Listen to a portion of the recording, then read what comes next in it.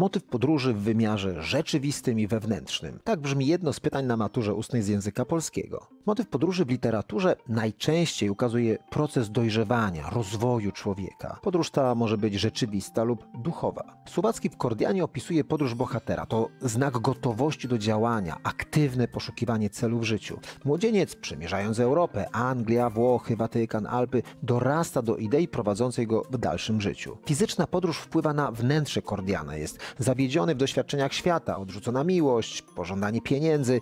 Odkrywa cel w poświęceniu się idei walki za ojczyznę, która rozpala jego serce. Na wzór Winkelrida gotów jest oddać swoje życie za wolność Polski. Zatem pokonywanie przestrzeni pozwala również odkryć prawdy ukryte w duszy. Więcej informacji o tej i innych lekturach znajdziesz na naszym YouTube'owym kanale i stronie matura na maxa.pl. To co? Widzimy się?